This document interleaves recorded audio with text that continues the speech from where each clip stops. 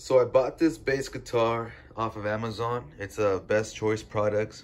So my only real issue with it is that I've only changed the strings once, right? So these are the DR Neon uh, Whites. Uh, my problem is that the bridge is already snapping. So I don't know if you guys can see that right there, but that is the wood lifting up because it, it's not a, it's uh it's not at an angle. So with the pressure of the string when I was tightening it, I heard a little snapping thing going on over here.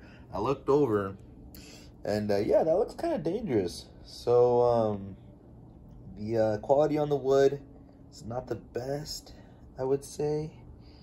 Uh, I would definitely stay away from this kind of wood uh, when making bridges. It's not a very good wood.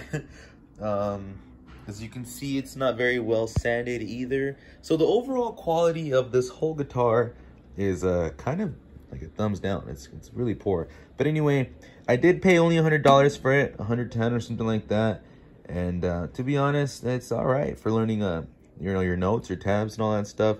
But for like concert use and anything other than that, I do not recommend it. It's gonna break on you. It's gonna rip your fucking eyeball out or something.